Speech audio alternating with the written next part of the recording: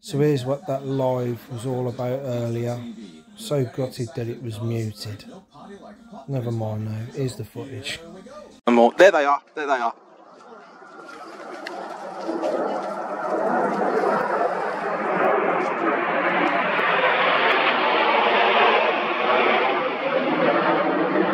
Fantastic.